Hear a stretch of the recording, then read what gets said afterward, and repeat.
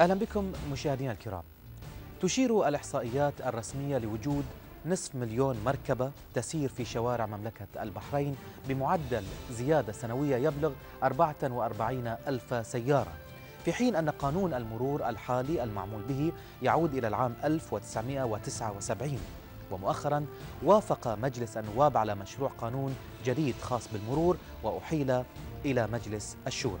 هذا الأمر أحدث لغطا في مواقع التواصل الاجتماعي بسبب ما أشيع من زيادة كبيرة في قيمة المخالفات ما هي تفاصيل هذا الموضوع؟ هذا ما سوف نناقشه هنا ولكن بعد رفع الجلسة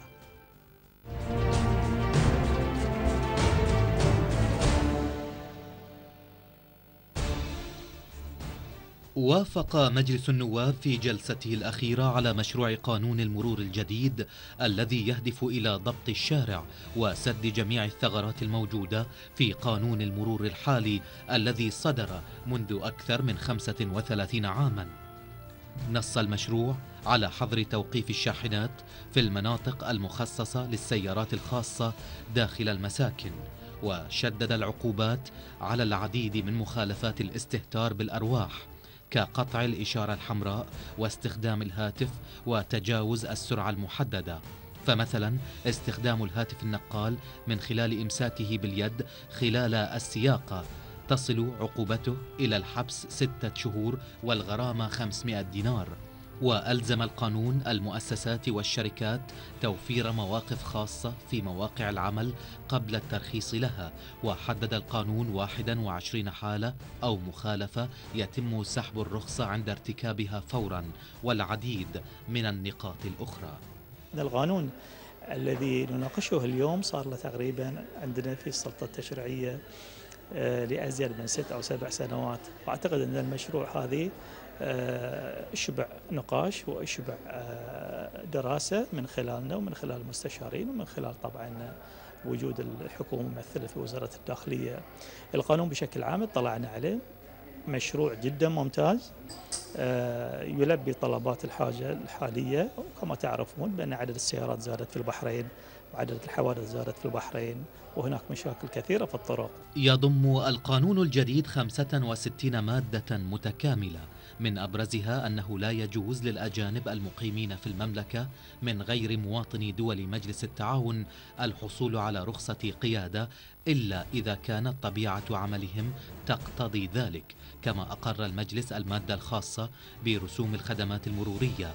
والتي تنص على أن يحدد وزير الداخلية بقرار منه بعد موافقة مجلس الوزراء الرسوم التي تفرض على الخدمات والشهادات والتقارير والبيانات المرورية وخاصة شهادات التسجيل وشهادات الملكية ولوحات أرقام السيارات والتسجيل وتراخيص المركبات ورخص القيادة وتجديدها وحالات الإعفاء منها. هذا القانون مهم جدا بالنسبة إلى مملكة البحرين ليواكب التطورات الكثيرة التي حدثت منذ آه، صدور القانون الحالي آه، منذ عام 1979 وهذا آه، القانون جاء ليواكب التطورات بالنسبة إلى الحركة المرورية على شبكة الطرق وأيضا زيادة عدد السواق والتغيير المشهود في آه، في الحركة المرورية والتطور في حركة في شبكة الطرق. هذا ولقد طالب أغلب النواب بتمرير القانون كونه من القوانين القديمة المهمة الموجودة في أدراج المجلس. وبأن التغيرات الحاصلة لا تسمح بالاستمرار بالقانون الحالي القديم لكونه لا يخدم عجلة الدوران الحالية للبلاد مؤكدين بأن الغرامات لن تفرض من قبل الحكومة إلا لصالح المواطنين من دون أدنى شك.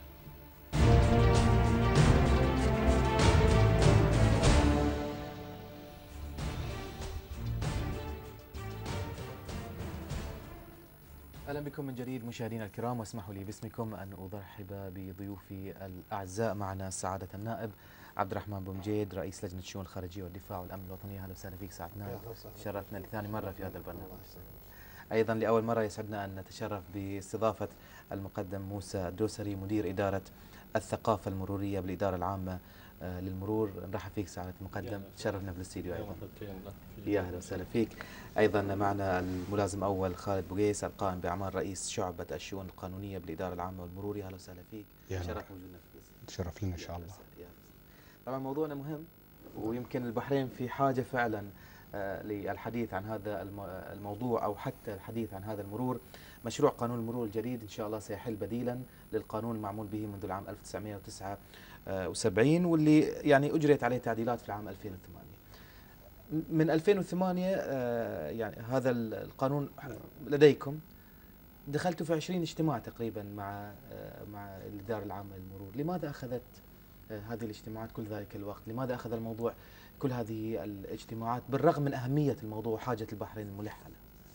آه، بسم الله الرحمن الرحيم. طبعا أشكرك على الاستضافة. مثل ما تفضلت أن هذا المشروع من أهم المشاريع اللي تدرسها مجلس النواب وهو يمس المواطن البحريني والمقيم في مملكة البحرين. آه فعلا أحالت الحكومة الموقرة لهذا المشروع في 2008 إلى إلى المجلس النواب وتم تدارس هذا المشروع في لجنة الشؤون الخارجية. آه، وعقدنا العديد من الاجتماعات حقيقة مع ممثلين وزارة الداخلية مع الغرفة التجارة ومع مختلف الوزارات الحكومية اللي لهم آه، اتصال مباشر بقانون المرور. آه، وتم إنجاز العديد من المواد. في 2009 صدر حكم المحكمة الدستورية بوجوب أن يتضمن أي قانون أي أي قانون يتضمن رسوم يجب أن يتضمن الحد الأدنى والحد الأقصى من الرسوم في القانون. فبالتالي يعني قانون المرور فيه العديد من الرسوم. ويوميا يتم استحداث خدمات جديدة. صحيح. وهذا راح يسبب إرباك لوزارة الداخلية. ليس فقط قانون المرور ولكن هذا ينطبق على جميع المشاريع في مجلس النواب اللي تتعلق بالرسوم فواصلنا إحنا دراسة هذا المشروع وتعليق المواد المتعلقة بالرسوم أن انهينا المشروع بالكامل. وصلنا إلى 2000 شهر أبريل 2013 صدر مرسوم. صدر حكم المحكمة الدستورية في ضوء ذلك بأن آه، بالأمكان لمجلس للسلطة التشريعية أن آه، جوازية تخويل الحكومة في وضع الرسوم فيما يتعلق بالخدمات.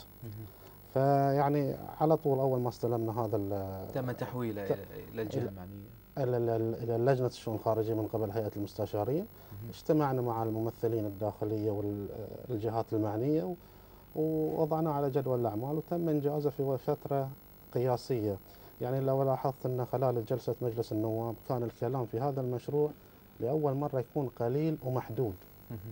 لإحساس الكل بأهمية هذا المشروع وأهمية صدوره بأسرع وقت لملامسته حقيقة الواقع البحريني يعني ما نشوفه إحنا في الشارع البحريني من نعم. عدم احترام للقانون. نعم. يمكن الأهمية أيضا آه، تكمن آه، ساعة المقدم بأن هذا القانون اللي يعني صدر آه، في 79 وتم إجراء عليه بعض التعديلات في 85 لم يعد يواكب ارتفاع عدد المركبات في الشارع في البحرين عدد السكان زاد وبالتالي عدد المركبات أيضا زادت. يعني بإحصائيات بسيطة تقريبا لدينا 44 ألف سيارة سنويا هو معدل الزيادة أيضا تشير الإحصائيات بأن هناك تقريبا 500 ألف مركبة موجودة في الشارع بمعدل مركبة واحدة سيارة لكل مواطنين. يعني وبالتالي هذه الإحصائيات في مسافة أو حجم مملكة بحجم مملكة البحرين أو بلد بحجم مملكة البحرين تعتبر كثافة عالية جدا ساعات المقدم طبعا اسمح لي في البداية باسم وزارة الداخلية نتقدم بخالص الشكر والتقدير لمعالي رئيس مجلس النواب وأصحاب السعاده النواب على نعم. اهتمامهم الدائم بالشأن المروري وحرصهم دائما على تطوير الخدمات المرورية ورفع معدلات السلامة والحد من الحوادث وتمرير هذا القانون كان دليل واضح على حرصهم واهتمامهم على المحافظه على أرواح كافة مستخدمي الطريق من المواطنين والمقيمين وأصبحت فعلا البحرين بحاجة لمثل هذه التشريعات والقوانين الجديدة لأن القانون الحالي المعمول فيه من سنة 1979 لم يعد حقيقة يعني قادر على أنه يردع عدد آه، من من السواق للأسف اللي ما زالوا يرتكبون آه، عدد من السلوكيات المرورية الخاطئة والخطيرة والتي تتسبب في الكثير من الحوادث. ومثل ما تفضلت شرط إن الآن إحنا نسبه عدد السيارات في ازدياد وأصبحت يعني البحرين غير قادرة في الوقت الحالي في الواقع على استيعاب هذا العدد الكبير من من المركبات. وهذا طبعا يضاعف من السلوكيات المرورية الخاطئة في ظل صحيح. الازدحامات المرورية اللي تشهدها أغلب شوارع المملكة. وبالتالي طبعا لابد من وضع تشريعات جديدة تحد من هذه التجاوزات. وهذا القانون طبعا يحتوي على العديد من المواد والبنود اللي نص عليه القانون آه، آه، الجديد واللي بتساهم في الواقع من الحد من أي سلوك مروري قد يسبب لحادث مروري. نعم من وجهة نظركم أهم مكتسبات هذا القانون هل هي يعني في الإجراءات أم تشديد العقوبات أم وجود آه، آه، يعني بنود جديدة لم تكن موجودة في القانون السابق وإحنا راح نذكر بعضها بشيء من التفصيل إن شاء الله. أعتقد هناك يعني آه، توجه مشترك بين مجلس النواب ووزارة الداخلية ومثل في الإدارة العامة للمرور أثناء تدارس هذا المشروع القانون. نعم. من خلال الاجتماعات اللي عقدت وإن الهدف الأساسي هو حماية كافة مستخدمي الطريق من السلوكيات المرورية الخاطئة التي تؤدي إلى الحوادث المرورية. وبالتالي الهدف ليس هو يعني تغليظ العقوبة بقدر هي أن تكون هناك روادع للسواق لأن القانون الحالي في 79 يعني أقصى عقوبة ممكن كغرامة. محتسبه على أي سلوك مروري يرتكب أو مخالفه مروريه يجوز الصلح فيها في الإدارة العامة للمرور لا تتجاوز 10 دنانير صحيح. غير كافية في الواقع وهذه تشجع على للأسف فئة من السواق إحنا يعني لا نلقي اللوم على جميع السواق وإنما هناك فئة من السواق يعني أصبحت غير رادعة هذه الغرامة بالنسبة وبالتالي لابد أن يكون هناك يعني تغليظ في العقوبة حتى يكون هناك رادع آه، لمن تسول نفسه إنه هو يعني يعبث بالشارع ويسبب الحوادث المروريه. صحيح صحيح. ملازم خالد يعني آه، بالفعل فيما يتعلق موضوع إن لم تعد هذه آه، العقوبات رادعة إحنا نسمعها واحد يقول يعني وطفت السرعة خمسة دينار وبدفعها 10 دينار بعطيهم إياها وأنا ماشي. خلي خلي يودوني مو مو يعني واضع الحزام. كم بيأخذون مني؟ فعلا كان في استهتار في بعض من بعض السواق بالقوانين نتيجة لأن العقوبات لم تكن رادعة. نعم. هل العقوبات الآن باعتقادكم بعد كل هذه المداولات وهي الآن تأتي يعني بعد عشرات السنين من القانون الأول باعتقادك رادعة ومناسبة للوضع الحالي؟ أه، بسم الله الرحمن الرحيم بداية نشكر استضافتكم لنا في هذا الصرح العظيم ثانيا نتقدم بشكل جزيل لأعضاء مجلس النواب على تعاونهم الدائم معنا وخاصة في تمرير هذا القانون الحيوي نعم اللي سيؤدي وحتما إلى أه، ضبط السلوك العام المروري على الشوارع العامة وبالتالي حفظ الأرواح والممتلكات نفس ما تفضلت. بداية العقوبات أي العقوبات؟ توارد طبعا على وسائل التواصل الاجتماعي الخوف من هذه العقوبات. حاب نوضح نقطة أول شيء. العقوبات هو حق المجتمع بشكل عام. حق المجتمع في السلم بشكل عام في الأمن. لا تفرض إلا على سلوكيات خاطئة. متى ما ارتكب الشخص سلوك خاطئ أدى إلى خلل بالأمن؟ تفرض العقوبات. قانون المرور أيضا يوازي قانون العقوبات الجزائية. هناك سلوكيات خاطئة تفرض عليها عقوبات. هذه السلوكيات أو الممارسات تحكم العلاقة بين كل مستخدم من الطريق. بين مركبة وبين مركبة أخرى بين مركبة ومشاة أو مركبة وراكب. هذه الممارسات تحكم العلاقات وبالتالي تؤدي إلى انتظام الحركة. انتظام الحركة سيستتبع ذلك حفظ السلام المرورية. يؤدي إلى حفظ الأرواح وهذه المبتغى الإدارة العامة للمرور حفظ الأرواح. الهدف حفظ الأرواح وليس تجديد العقوبة وزيادة الغرامات بحد ذاته هو الهدف عشان يكون واضح الكل لأن مثل ما تفضلت في وسائل يعني التواصل الاجتماعي لاحظنا أن هناك تخوف، هناك من حاول أن يعني آه، يتصيد أو أو يستبق الأحداث ويقول إن هذا القانون جاء لأخذ مزيد من الرسوم وغيره وغيره. بالضبط. آه، يمكن سيستعرض سيد المقدم موسى الإحصائيات. اللي هي راح في ضحيه آه، عدد من الأشخاص واغلبهم يمكن من الشباب اللي هم عماد الوطن صحيح ونظرتنا للمستقبل وهذا هدف قانون المرور كل حادث أساسه سلوك خاطئ أساسه مخالفة. وبالتالي هذه المخالفة تؤدي إلى ارتكاب الحادث. لولا هذه المخالفة كل من يتقيد بمساره صحيح كل من يتقيد بأولويته لن يكون هناك حادث. الهدف هو فلسفة الردع بالتالي لعدم ارتكاب هذه المخالفة التي ستؤدي إلى وقوع الحوادث المأساوي. وكرر إن الهدف من العقوبات ليست جباية إنما هي حفظ الأرواح والممتلكات، بالتالي هي ردع للغير لعدم ارتكاب هذه السلوكيات التي تؤدي إلى وقوع الحوادث المأساوية التي تؤدي إلى وقوع ضحايا وبالتالي خسارة أرواح وأيضا إلى أضرار بالممتلكات العامة أو الممتلكات الخاصة. جميل. يعني أنا برجع لك المقدم موسى علشان الناس تعي أهمية هذا القانون، خلينا نعطي بعض ب ب بعدد المخالفات بعدد الحوادث وما يعني وحتى ارتفاعها في السنوات السابقة أين كانت وإلى أين وصلنا؟ بدون شك طبعا يعني الإدارة العامة للمرور تعمل دائما على التحليل الاحصائي اللي يبين لها آه، يعني المخالفات الأكثر خطورة والمسببات الرئيسية للحوادث المرورية خصوصا إحنا نركز على حوادث الوفيات.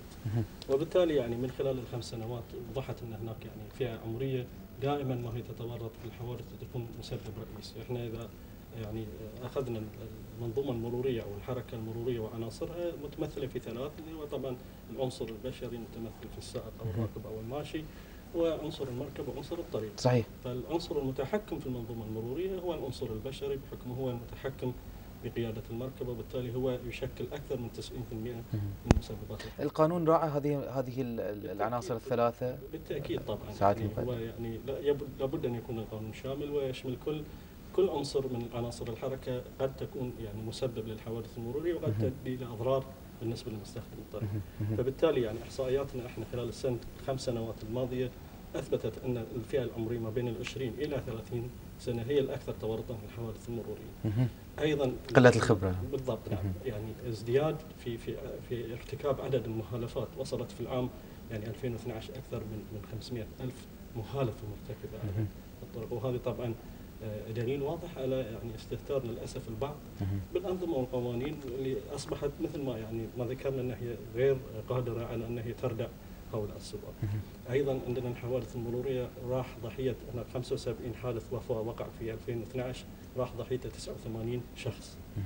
يعني هذه طبعا كلها أمور كلها يعني بسبب الزياده في عدد المركبات أيضا أكثر من 500 ألف مركبة نصف مليون مركبة مرخصة ومسجلة وتساق على صحيح. المملكة. صحيح. فكل الأمور هذه يعني كانت لابد من أن يكون هناك تشريع جديد وقوانين وأنظمة جديدة تنظم الحركة المرورية وتساهم في الحد من هذه الحوادث آه، اللي أصبحت أنها تقلق الجميع. وبالتالي مثل ما تفضل المنازم خالد آه، الناس يجب أن لا تتخوف من العقوبات لأن إذا أنت بتلتزم بالأنظمة والقوانين فيعني العقوبة لن تطال وهي لسلامتك وسلامة الآخرين يعني ليس أنت فقط كل من معك في إذا يعني في الطريق إذا التزم خوفا من العقوبة إذا لم يكن سلوك يعني آه، شخصي. فبالتالي أنت تضمن سلامتك وسلامة عائلتك وسلامة يعني آه، الناس جميعا المحيطين فيك.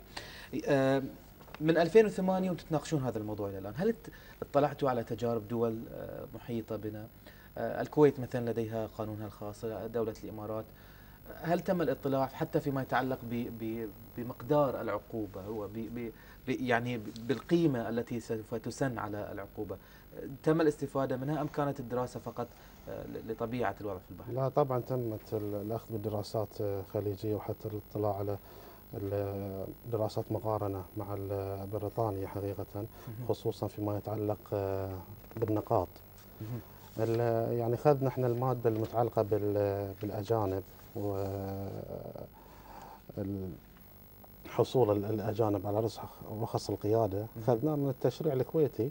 صحيح. اللي ينظم عملية الحصول الأجنبي على رخص القيادة. وهذا يعني حصل ضغط عليها كبير في الشارع البحريني. وفي من روج انها هي منع للأجنبي. يعني يجب التأكيد على إن هذا ليس منع هاي تنظيم. إعطاء كل من يعني آه، أجنبي حسب الوظائف واللي راح تصدر بها قرار من وزير الداخلية في اللائحه التنفيذية الحصول على رخصة قيادة.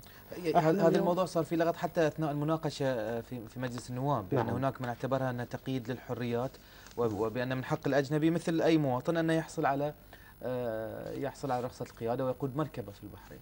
صحيح ولكن أغلبية دول العالم تنظم حصول الأجنبي على رخصة القيادة واحد الدول هذه الكويت يعني إحنا اليوم ما نمنع الاجنبي يحصل القياده ولكن إذا يعني عمال البناء يمكن نسبة نسبة الأجانب الحاصلين على رخص القيادة في البحرين أكثر من البحرينيين أنفسهم. يعني هذا يسبب ازدحامات ينافس حتى البحريني المواطن البحريني أصحاب التكاسي أصحاب النقل العام. يعني هذول أصحاب المهن البسيطة اللي يشتغلون في أعمال الإنشاء. يعني شو السبب أنه يأخذ رخصة قيادة؟ من مكان سكنه إلى مكان عمله المقاول يوفر له مواصلات. طيب هذا يأخذ الرخصة ويقوم يتكس ويضايق أصحاب التكاسي يستعملون سيايير قديمة يشترونها ب 200 دينار يعرضون يعني البيئة وغيرها. وفيهم من يستخدم باصات لنقل الطلبة للأسف. وهذه كلها يعرض أبنائنا يعرض نعم. المجتمع يعني وزارة الداخلية تحفظت على على هذا الموضوع ويعني وذكرت فيه انه هو عدم دستوري وكونه يخالف المعاهدات الدولية التي وقعت عليها البحرين والتي لا تجيز تقييد حرية الإنسان في الإقامة والتنقل أنتم في التشريعية يعني تشريعات نواب رفضتم مباراة وزارة الداخلية لمبدأ تقييد حرية الأجانب في الحصول لا. على القيادة. المهم يعني وصل الموضوع الآن؟ إذا تسمح لي. تفضل. الداخلية كانت آه، تحفظها على وضع في البداية كان وضع سقف 500 آه، دينار. لا يحق للاجنبي الحصول على رخصة آه، قيادة إذا كان راتبه يقل عن 500 دينار. تم تعديل هذه المادة بحيث يحق للأجنبي يعني الحصول على رخصة قيادة. إذا كان مهنته تتطلب رخصة القيادة ويصدر بهذه المهن قرار من وزير الداخلية.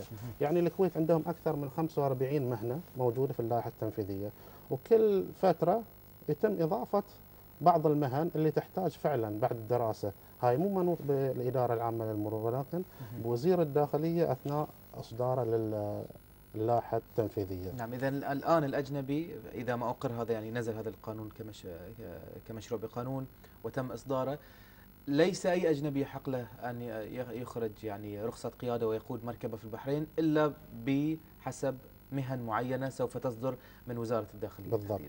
ثاني كما هو الحال في الكويت. بالضبط نعم، ثاني شيء يعني في في الأجانب هاي ما يعني ما ينطبق على السياح لأن في أغلبية السياح يكون عندهم الليسن الليسن الدولي الدولي نعم. يعني إحنا نتكلم عن اللي يجي البحرين يشتغل ويتقدم حق الحصول على رخصة قيادة. هذه هذه هذه الهدف. ومو بالهدف يعني الأطباء أو المهندسين أو أصحاب المهن. الهدف أصحاب المهن البسيطة كالناطور أو العامل في ورشة بناء في أو مقا أو العمال المقاولات أو غيرهم. هذول البسطاء اللي ما عنده القدرة يتسلف عشان يتعلم وياخذ الليسن عشان يروح كعمل إضافي على العمل اللي هو قاعد يقوم به. وهذا اولا مخالف لقانون العمل وثاني شيء يضر بالمواطن البحريني صح اللي يقوم بهذا العمل كان يعني تاكسي أو أو باص أو غيره.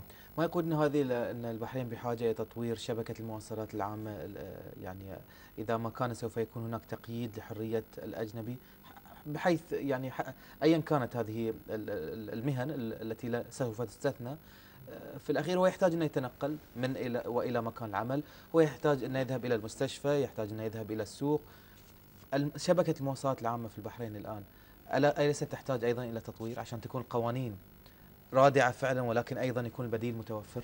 وأعتقد إن حتى القانون الجديد يعني عالج هذه الناحية من خلال يعني إسناد بعض الأمور المتعلقه بوسائل النقل إلى وزارة المواصلات ووجد لها تنظيم خاص أيضا يحفظ حقوق هذا النوع من المواصلات ويشجع أيضا أن يتم تطوير هذا القطاع المهم. وأيضا أعتقد أن وزارة المواصلات قطعت شوط كبير من خلال يعني شركة استشارية قامت بعملية مسح كامل لوسائل النقل العام الموجود حاليا وتوسعه شبكة الطرق اللي اللي لمحطات النقل العام وتطوير النقل الجماعي بما يواكب التطور اللي موجود الآن ويشجع أيضا الآخرين سواء كان من المقيمين أو حتى من المواطنين على استخدام هذه الوسيلة المهمة. الآن لو يعني نظرنا إلى العقوبات التي تم تجديد العقوبات فيها خاصة المخالفات وغيرها تعطينا فكرة عامة عن هذه عن هذه النقاط؟ طبعا يعني المادة هذه تناولت العديد من النقاط مثل ما تفضلت والعديد من السلوكيات المرورية المهمة.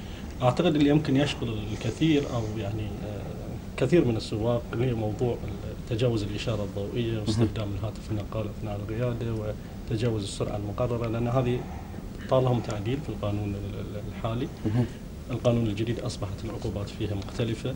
يعني على سبيل المثال مخالفة استخدام الهاتف آه، أثناء القيادة محمولا باليد. صدر في قرار من معالي وزير الداخلية آه، الغرامة في ما تتعدى العشرة دنانير. في القانون الحالي السابق الصادر في 79 نعم. أنا كان في قرار من معالي وزير الداخلية يمنع أو يحظر استخدام الهاتف النقال. القانون الجديد هذه عالج المشكلة لأن أصبح الهاتف النقال الآن من المسببات الرئيسية في الواقع الحوادث المرورية. ولا يقتصر فقط على عملية استخدام الهاتف لإجراء الاتصال أو تلقي المكالمة إنما الوسائل الحديثة المتاحة يعني انستغرام وغير يعني مجانية وأصبحت يعني مرقوبة من الجميع في استخدامه للأسف هو يعني آه، غير مدرك للأسف اللي يستخدم هذه الوسيلة أثناء القيادة بمدى الخطورة لأن الحادث يقع في ثواني. صحيح. فقفلة الثواني هذه أثناء استخدامك للهاتف النقال ممكن انها هي تؤدي إلى حادث شددت العقوبة؟ شددت العقوبة فأصبحت يعني الحبس مده تتجاوز سته أشهر والغرامه لا تقل عن 50 دينار ولا تزيد عن 500 دينار آه، كعقوبة وبعدها تنم عقوبتها. جميل، إحنا راح نتناول بشيء من التفصيل بعض طبعا آه، المخالفات اللي تم تشديد العقوبة عليها. ولكن إذا سمحتوا لنا بعد فاصل قصير مشاهدينا الكرام نعود من بعده لنواصل الحديث.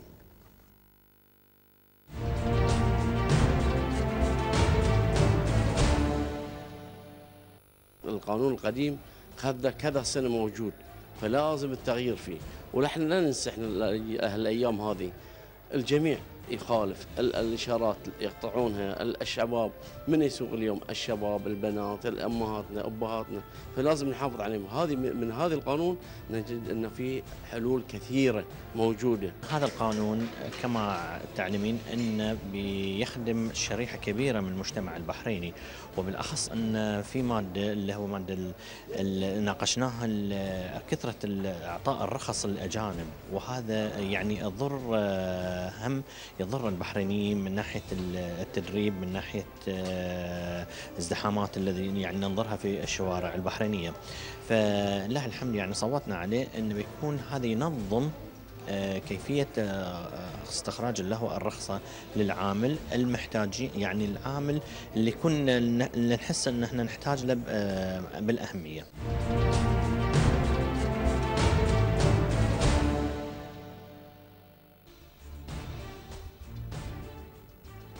أهلا بكم من جديد مشاهدينا الكرام وراح أبتدي مع الملازم الأول الاستاذ خالد يعني هذا القانون الجديد يتضمن العديد من التغييرات المهمة سواء على صعيد تنظيم المرور في الطرق العامة تسجيل وترخيص المركبات رخص القيادة وقواعد مرور وأدابة وأيضا ما يعرف بالتدابير الإدارية والعقوبات آه، آه، الجنائية نعم. المقررة بس حابين نعرف في البداية شو الفرق ما بين تدابير إدارية وعقوبات جنائية لأن في بعض الحالات تكررت آه، في الجانبين وإحنا نقرأ هذا القانون. نعم.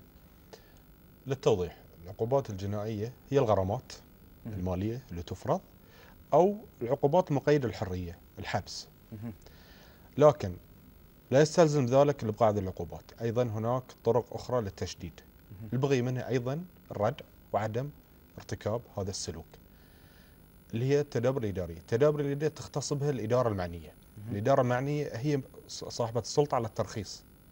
بالتالي تسلمك الترخيص تمنحك الترخيص وفق الشروط اللي هو الاستخدام الأمثل له متى ما خالفت شروط استخدامه هناك عقوبة جنائية الغرامة قد تطالك لكن هذا لا يمنع من أن الإدارة العامة للمرور تفرض أيضا عقوبات الداخلية حسب اللوحة الداخلية اللي هي التدابير الإدارية سحب رخص القيادة فبالتالي نأخذ مثال عطنا مثال عشان يكون واضح للمشاهد. الآن شيء سلوك قد تنطبق عليه يعني العقوبتين العقوبات الإدارية أو العقوبات الجنائية التدابير الإدارية أو نعم. العقوبات الجنائية. السرعة تجاوز آه، السرعة المقررة. نعم. تجاوز السرعة المقررة. افرض عليك غرامه معينة وبالتالي أيضا أسحب رخصة قيادتك. راح سحب رخصة قيادة تدبير اداري والغرامه هي العقوبة الجنائية. الآن السرعة كان في في القانون الماضي هناك عقوبة للسرعة. نعم. هل استحدث شيء يعني في, في القانون الجديد يطال موضوع السرعة؟ نعم. آه الكل يعلم إن السرعة هي المسبب أو تأخذ السواد الأعظم في الحوادث المرورية الخطرة التي تؤدي بالأرواح. وكرر هدف الإدارة العامة للمرور هي حفظ الأرواح أولا. ثم تأتي الممتلكات ثم تأتي آداب استخدام الطريق العام وسلوكيات وعلاقات المركبات وكل مستخدم الطريق ببعض. جميل. جرى تفريد ال- العقوبة هذه أو الواقعة هذه. بالتالي تم التفريق بين الشخص اللي نعم تجاوز سرعة لكن ليس بالمقدار الخطر أو اللي يؤدي إلى ال- السرعة الطائشة وفقد السيطرة على المركبة. بالتالي تم تحديد لحد 30% من تجاوز السرعة المقررة لها عقوبة. لكن متى ما تجاوز هذا الحد 30% هناك عقوبة مغلظة أكثر. هل نقدر نعرفها بال- بالأرقام؟ يعني نقول مثلا العقوبة كانت ك... الآن حسب القانون الموجود كانت هكذا. لما يصدر القانون الجديد سوف تنتقل أو تزيد بهالكثر نسبة؟ طبعا العقوبات هي لحد الآن يعني ما زالت ستحال إلى مجلس النواب. نعم. وسوي- شورى. الشورى عفوا. وبالتالي بس العقوبة لحد الآن المقترحة من المجلس بناء على توافق مع وزارة الداخلية اللي هي العقوبة اللي لا يتجاوز 30% لحد الآن 50 دينار الحد الأدنى مهم. والحد الأقصى 200 دينار. تجاوز 30% الحد الأدنى 100 دينار والحد الأقصى 500 دينار. هذه كعقوبة. هناك أيضا تدبير إداري. نعم سحب نعم. رخصة. اللي آه، المدة اللي لا آه، لا تزيد عن 60 يوما طبعا. من 30 يوم ل 60 يوم. هي سلطة للإدارة العامة للمرور نفس ما تفضلت وقلت إن هي هي مانحة الترخيص وبتتضع الشروط متى ما خولف شروط الترخيص من حقها إنها تسحب الترخيص أو تقيد استخدامه فترة معينة. جميل. آه إلى يعني تفضل أستاذ. دون الإخلال طبعا نفس ما اكد سعادة النائب. دون الإخلال بعقوبة الحبس. أتكلم عن الغرامة لأن هي الهم ال- ال- ال- ال- الأكثر ال- التواصل الشائع هي الغرامة. الحبس أيضا وجود ترى حبس. يوجد هناك عقوبة مقيدة للحرية. خاصة إذا أدى ادت مخالفه السرعه إلى وقوع حادث نعم. أدى إلى إحداث متل... آه، تلفيات ممتلكات أو إصابات وفيات. أو لا قدر الله وفيات. هناك عقوبات تصل إلى ستة أشهر بالحبس طبعا. العقوبات الجنائية يعني آه، تطال السرعة وأيضا تطال كسر الإشارة وكسر الإشارة يمكن هذه من أخطر السلوكيات الخاطئة اللي ممكن يقوم فيها أي قائد مركبه وأعتقد أنتم اهتميتوا بتغليظ العقوبة في هذا الشيء آه،. سعادة النائب. طبعا أنا اكد على ما ذكروه الأخوان أن يعني تشديد العقوبة الهدف منه حماية ال- المجتمع من. الحوادث. آه، كسر ال- الإشارة أو السرعة ووضع آه، يعني كسر الإشارة تم وضع آه، العقوبة الحبس مدة لا تقل أو لا تزيد عن ست شهور بغرامة لا تقل عن آه، 50 دينار تصل إلى آه، 500 دينار نعم يعني وهذا آه، يرجع ل أو إحدى هاتين العقوبتين وهذا يرجع إلى القاضي. يعني لا شك إن يعني أصبح اليوم عندنا في الشارع البحريني آه، عدم احترام القانون عدم احترام ال- ال- الإشارات. والعديد من الحوادث تحصل جراء هذه ال- ال- كسر الإشارات ال- الحمراء. يعني أنا أشكرك على هذا البرنامج واستضافة الإخوان لتوضيح مثل هذه الأمور الهامة في المشروع بقانون حق المواطنين، إحنا بالعكس إحنا نطالب يعني منكم من الأخوان في تلفزيون البحرين بعمل آه، لقاءات أكثر إن كان مع الإدارة العامة للمرور أو النابة أو حتى المواطنين لإيصال ال- ال- المواد الحيوية والمهمة اللي تحفظ الأرواح للمواطن. ال- ال- الكل يعني ما تكلم عن كسر الإشارة ما تكلم عن السرعة ما تكلم عن الش ال يعني ال- السياقة وتحت تأثير ال- الكحول أو المخدر. بس تم التركيز على الموضوع ال- التليفون و500 دينار. يعني بعض ال- الجهات الإعلامية للأسف تستخدم الإثارة صحيح. في حين أن القانون قانون متكامل يحمي المجتمع البحريني من العديد من الحوادث إذا كان لو كان في هناك احترام. هي ترى نفسيا بعد إقرار القانون في مجلس النواب نفسيا الكل بدأ يحترم ال- ال- القانون. يعني تسأل محلات التليفون على على اتصال يقول لك يا ناس تشتري سماعات. يعني وثاني شيء يعني مع إنه كان في السابق في حملات كثيرة يعني الإدارة العامة بالضبط. قامت بها ولكن العقوبة لا. يرضع سوى القانون سوى بالضبط. سوى العقوبة هي فعلا التي الأمر الثاني يعني تم هذه مناقشة القانون لمدة مع يعني أهمية التثقيف. هاي لا, لا يعني بالضبط. هذا لا, لا يلغي ذاك. نعم. بالضبط. تم مناقشة ال- المشروع لمدة خمس سنوات في مجلس النواب. اليوم هذا المشروع راح يروح إلى مجلس الشورى.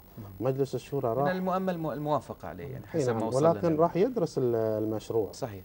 راح اذا كان في اي أي خطأ راح يتم آه، تصحيحه. ولكن كل عقوبة وجدت اليوم في هذا القانون تم وضعها بعد دراسة. مهم. يعني وبعد نقاش مستفيض. يعني لما سالتنا نقول خلى الأخ خالد لأنه هو يعني شبه حافظ ال- ال- القا- القانون ودارسه. وفي نقاشات يعني الفصل التشريعي الثاني كان الشيخ عادل معاود رئيس اللجنة. مر على خميس الرميحي الاخ سوسن اليماني رئيس. ثلاثة مستشارين بالإضافة إلى العديد يعني من رجال وزارة الداخلية يعني حوالي 20 اجتماع يعني بالضبط. تم يعني إعطاء هذا أصبح القانون حقه من المناقشة اليوم من. الضرورة. وجود هذا ال- المشروع ولكن من ناحية ثانية التثقيف ال- المواطنين يعني وإطلاعهم على فحوى القانون والمواد والعقوبات اللي فيه.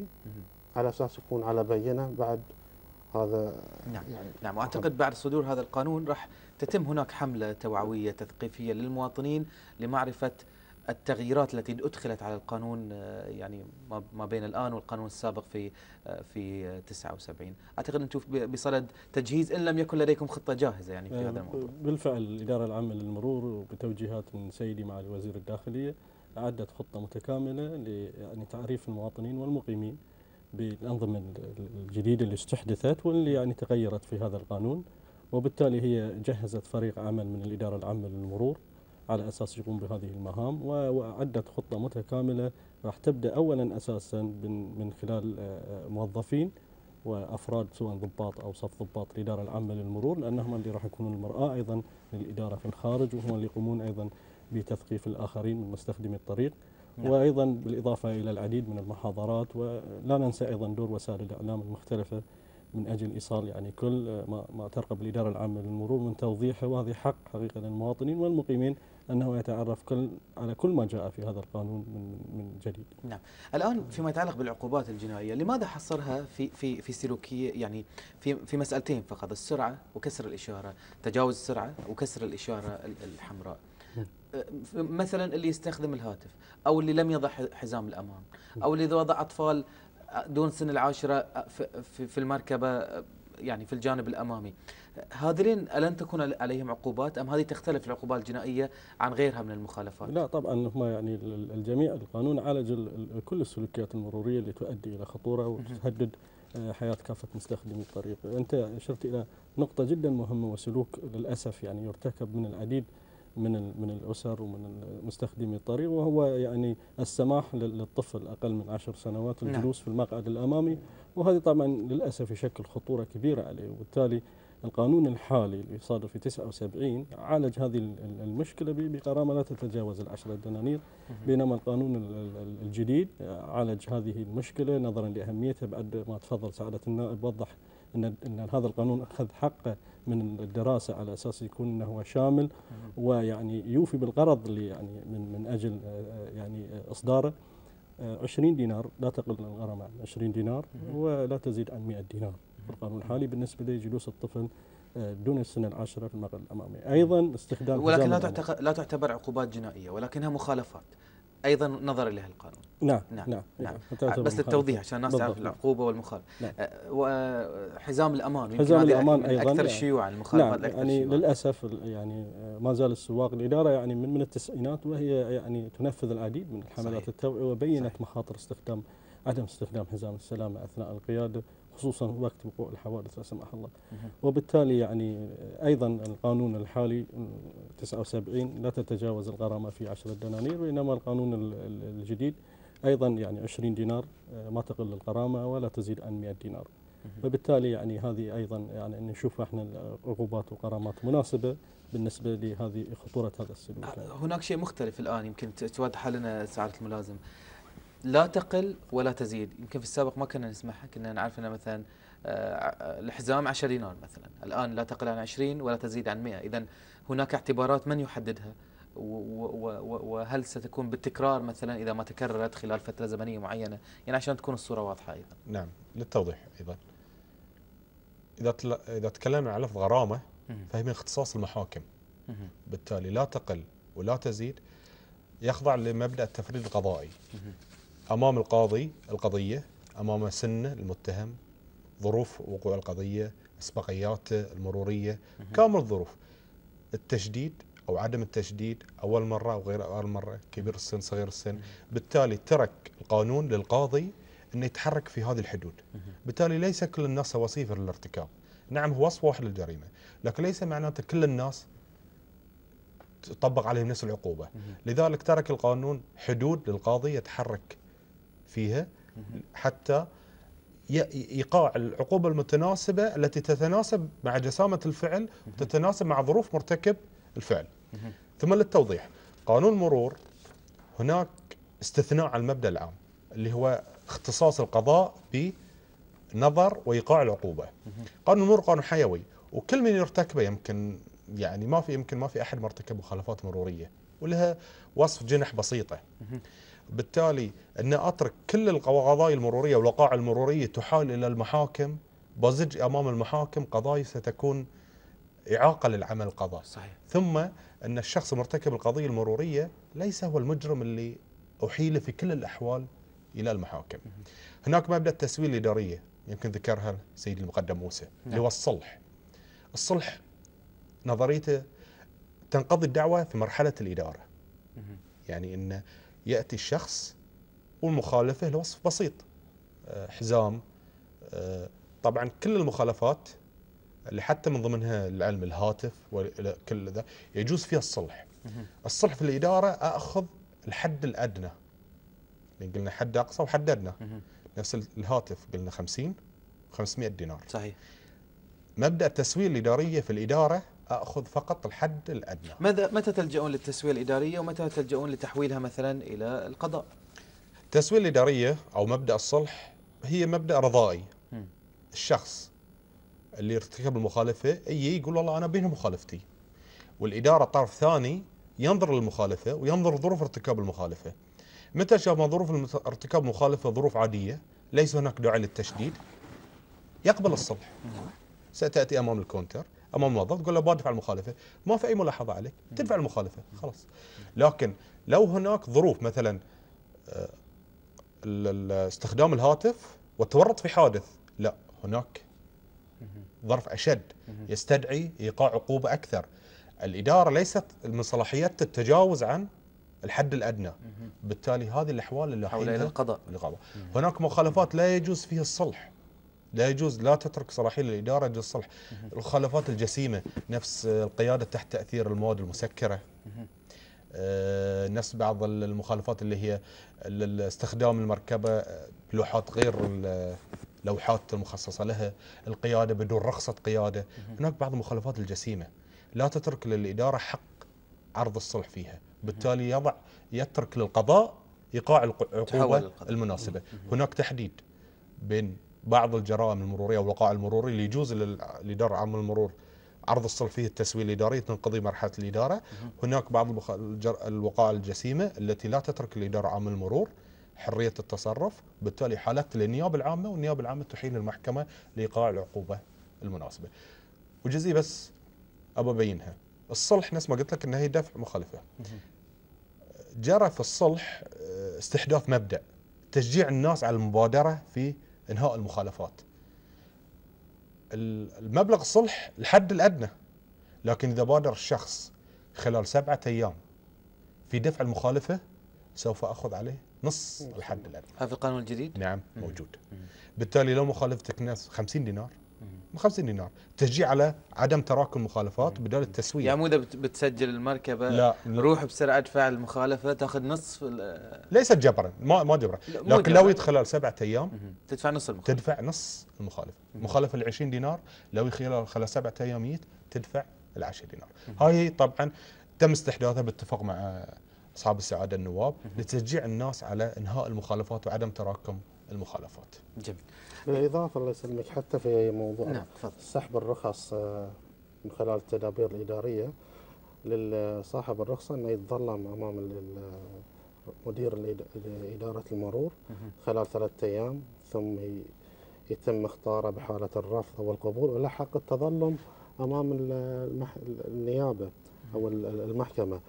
الإيجابي اليوم تم في يعني هناك بتكون في نيابة للمرور يعني هذه راح تحل مشكلة كبيرة. نعم. المرور الغ- الغضاء. الآن. ولكن صلاحيات أكبر في البت في في القضايا ما هي الصلاحيات القادمة؟ انهاء القضايا قبل لا توصل إلى المحاكم. النيابة تقدر؟ نيابة نيابة المرور الآن؟ المرور لا في خلال القانون الق- ال- القانون المعدل. الجديد؟ خاصة أن العديد من مواطنين دول مجلس التعاون والسياح يأتون خلال ال- الإجازات.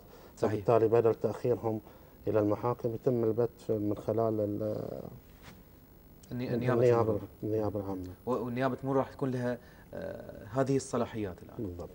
جميل. هو ما يسمى بالأمر الجنائي. أمام النيابة ناس تاخذ ناس فلسفة الصلح لكن أمر جنائي أمام النيابة. يعني تستطيع أن ال- القضية تنتهي في مرحلة النيابة أيضا وأعتقد هاي يحسب للقانون الجديد بدل الإحالة إلى القضاء والذهاب إلى المحاكم ويعني على قضية مرورية. الناس كانت حتى تتكلم في ذلك سابقا.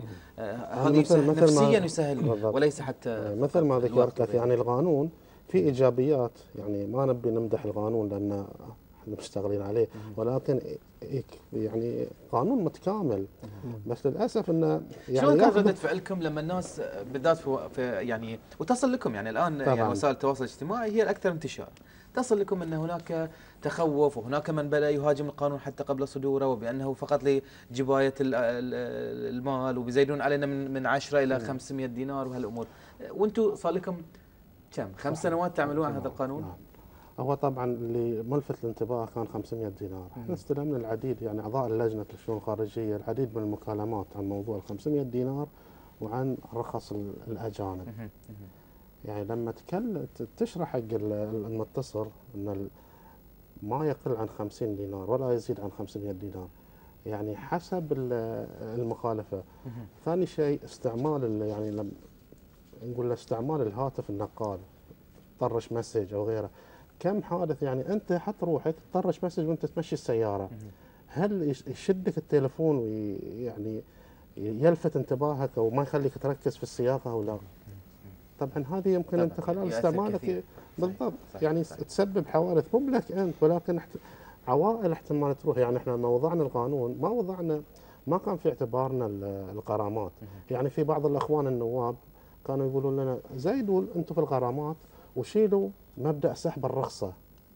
إحنا ما كنا يعني ما كنا مقتنعين بهذا المبدأ لأن إحنا نبي يكون شيء رادع. لما تسحب الرخصة فعلا يحس الشخص انه أحس... عمل خطأ. ولكن أحيانا ال 20 دينار بالنسبة حق أشخاص ما تفرق معه. أو صحيح حتى ال 50 دينار. صحيح. يعني هذه وبالتالي الردع وليس جباية الأموال كان بالضبط. هدفكم واللي اتفقتوا فيه مع الإدارة العامة للمرور وأعتقد الهدف واحد هو السلامه نعم. سلا- سلامة الجميع. الآن أيضا يعني المشروع رفع مبلغ الغرامة على كل من يخالف الآداب العامة للمرور. عن يعني ال- الآداب العامة نعم. للطريق. احترام كافة ال- ال- الأنظمة والعلامات المرورية سواء كانت العلامات والدلائل ال- المرورية الأرضية اللي تنظم عملية السير أو يعني من خلال التجاوزات الخاطئة. يعني هي كلها تدخل من ضمن سلوكيات مرورية آه، مختلفة خاطئة يعني. ولكن يعني تختلف آه، يعني هي في تجاوزات ليست فقط على القانون وإنما حتى على يعني حقوق الآخرين مثل الدخول الخاطئ في بعض ال- ال- المسارات للأسف اللي تتكرر الآن عند الإشارات الضوئية وأيضا من صحيح. خلال التجاوز من المسارات اللي آه، جهه اليمين أو من الدخول الخاطئ أو يعني أمور كثيرة يعني. فايضا ما كانت رادعة وانتشرت بشكل كبير حقيقه في شوارع الآن لا تقل عن 20 لا تتجاوز 100 نعم. دينار. أنا راح أذكر منها أيضا إعاقة حركة المرور بالطريق أو التسبب في إلحاق أضرار أو تلفيات لعلامات أو إشارات المرور نعم الموجودة في بالضبط. الشارع آه، تغيير معالمها أو أماكنها أو اتجاهها أو آه، إضرار أو تلفيات أضرار أو تلفيات بممتلكات الأفراد المرافق العامة عدم إفساح قائد مركبة طريق آه، ل- ل- لمركبات الطوارئ كالأطفاء نعم. والاسعاف وغيرها يعني آه، أعتقد هاي موجودة في السابق ولكن تم تجديد. تم تجديد تم تجديد عليها. تم تجديد الغرامه فيها. نعم. جميل. آه، فيما يتعلق يعني بمسألة النقاط نعم. إحنا كنا نسمع عنها مثلا في في أن هناك هذا القانون في دبي مثلا مطبق نعم. ان المخالفات عليها نقاط معينة. نعم. آه، تختلف بين مخالفة لأخرى حسب الظروف أيضا. نعم. تكرارها خلال ست شهور أو خلال سنة. آه، اشرح لنا هاي موضوع آه، يعني النقاط الآن ويعني هل سوف يتم سحب رخصه القيادة؟ متى؟ آه، كيف؟ كل هذه الأمور. بطبيعة الحال طبعا قانون المرور الجديد يعني يتضمن نظام للنقاط والإدارة العامة للمرور طبعا يعني عملت كثيرا. من أجل التوصل إلى صيغة مناسبة لهذا النظام خصوصا إنها استعانت بالدول اللي سبقت البحرين صحيح. في تطبيق نظام النقاط سواء كان من الدول المجاورة أو حتى من الدول المتقدمة في أوروبا. وبالتالي هذا النظام أيضا له ميزة جيدة من خلال يعني مبدأ الثواب والعقاب. وهناك يعني نقاط تشتمل على عدد من السلوكيات المرورية الخاطئة. يتم احتساب نقاط معينة لها. وإذا وصل إلى الحد الأعلى من النقاط اللي مسموح فيه طبعا يتم سحب الرخصة لأول مرة وأيضا لفترة معينة وأيضا تسحب الرخصة أيضا مرة ثانية إلى أن يوصل إلى حتى السحب النهائي. والسحب تصل إلى السحب نعم، النهائي. نعم تصل إلى السحب النهائي. ويعني تعيد الرخصة بعد ما يتم تأهيل السائق آه، مرة أخرى من خلال اخضاع إلى محاضرات آه، ويعني تدريب وامتحان أيضا وتقييمه. إذا كان هو فعلا يدش تراي من جديد يعني؟ نعم يدش تراي من جديد. هاي تخوف بالضبط نعم وهذا بيكون يعني آه، بيساهم أكيد طبعا صحيح. في التزام من السواق بالأنظمة والتعليمات. المبدأ الجيد في هذا النظام أيضا في المقابل أنت يعني في حال عدم ارتكابك لأي سلوك مروري خاطئ لفترة معينة يتم تقليص عدد النقاط مالك. يعني يتم يعني آه، مبدأ ثواب بالنسبة لك إنه هو يعني مكافأة من من من الإدارة إن أنت تنزل نقاطك. آه، ممكن أنك أنت ترجع إلى إلى إلى الصفر من النقاط من خلال التزامك في كل مرة أو في كل سنة بعدم ارتكابك المخالفات المرورية. نعم. أعتقد الملازم أول خالد حاب تضيف في موضوع النقاط شيء من التوضيح القانوني آه، على أساس يعني الوقت بدأ يداهمنا فإذا ممكن موضوع النقاط الآن آه، نعم. كيف سيطبق تحديدا؟ وهل هو إداري أم جنائي بعد؟ إداري طبعا. إداري. سيد المقدم موسى استوفى يمكن صحيح. الموضوع. الجزئية البسيطة اللي يمكن أضيفها إن هي المده سنة تحتسب المده سنة سنة ميلادية. خلال السنة الميلادية تحتسب عدد من النقاط حسب جسامة كل مخالفة. يجب أن لا يصل عدد النقاط ل 20 نقطه متى ما وصل 20 نقطة؟ شلون تحسب النقاط على سبيل المثال؟ يعني السرعة كم؟ لحد الآن لم تحدد. لم تحدد لا تحدد. تترك اللائحة التنفيذية تحديد النقاط حسب جسامة المخالفة. وبالتالي متى ما ظهرت على الساحة ظاهرة سلوكي سلوكية خاطئة أقدر أشدد فيها. يعني مترك للصلاحية نعم. الإدارية. تكرارها يدعو لحاجه التشديد يقدر اشدد فيها. جميل. تجمع 20 نقطة. إذا تجمع 20 نقطة خلال أول مرة تسحب الرخصه لثلاث أشهر.